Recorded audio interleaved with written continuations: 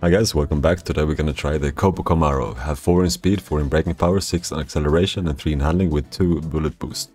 Uh, I have upgraded this two times, so it's a common car from the car and I took a new uh, skin or livery because I think uh, it deserves some more flash than it had before, but yeah, let's try it out.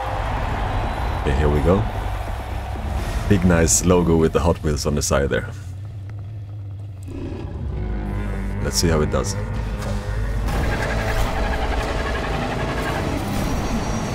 Oh, flying away.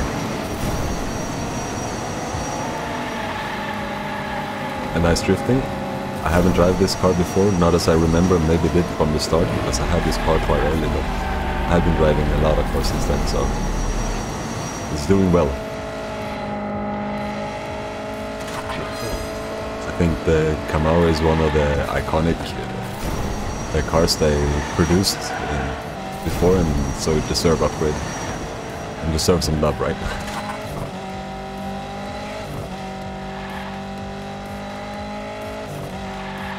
Okay, we have Wonder Woman uh, a little bit behind us.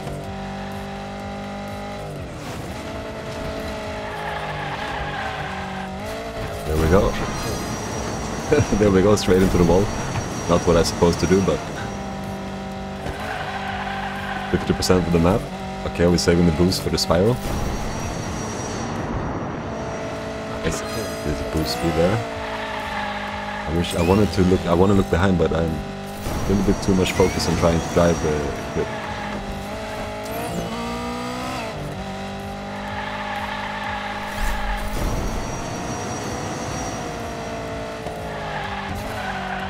Oh, there I see one. Hard turn. Moving up to 85%. Still haven't been able to look back because I'm a little bit scared that they will pass me if I make a mistake. The boost and the early drift.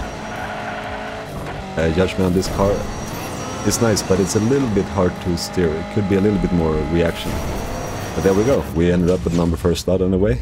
Uh, the Camaro. Old American icon. And uh, by photo on the second hand, and third is the Aura. So yeah, nice car have to have it in the garage in the collection. Okay, thanks for watching guys, subscribe if you like the movie and leave a comment on my driving skills. Bye bye!